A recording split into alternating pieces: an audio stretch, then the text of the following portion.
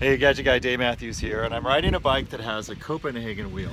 This is a direct drive motor battery system that sits in the hub of a bicycle.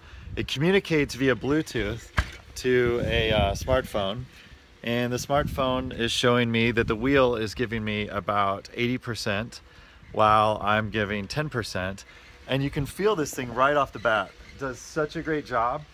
I'm pedaling up a pretty steep incline here in France and I'm exuding almost no pressure at all. And um, I'm an 87% battery, so I think I'm gonna be able to make it to the top of this.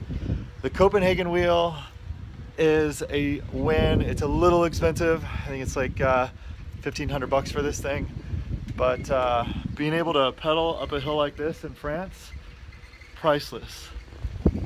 I'm Dave Mathews, the Gadget Guy, always showing you technology but look at that sight. Wow, amazing.